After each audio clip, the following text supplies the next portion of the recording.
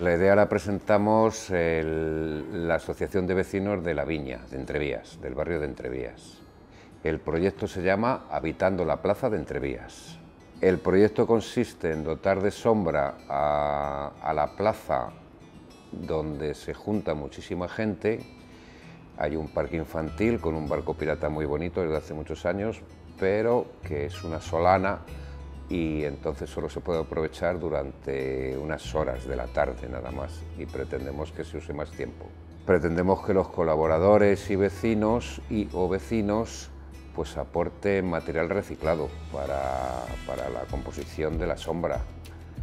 La gente más experimentada y más mayor con habilidades pues podían aportar su experiencia tejiendo o cosiendo y, en fin, un poco cada uno lo que sepa y pueda hacer.